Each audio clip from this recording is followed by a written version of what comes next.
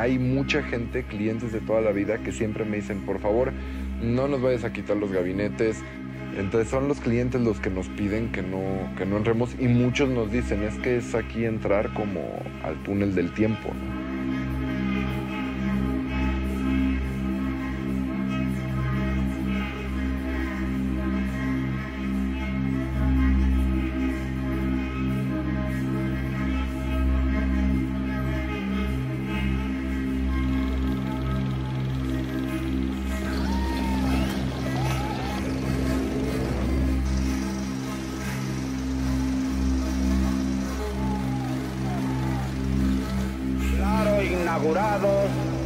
Los Juegos Olímpicos de México.